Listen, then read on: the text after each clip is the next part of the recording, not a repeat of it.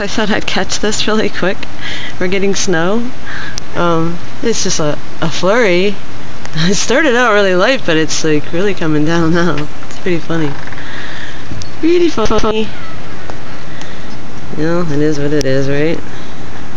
They're almost little pellets. And uh, there's actually blue sky. Look at that. So I know it'll be over really quick. Just a neat add-on to my weather chart for today.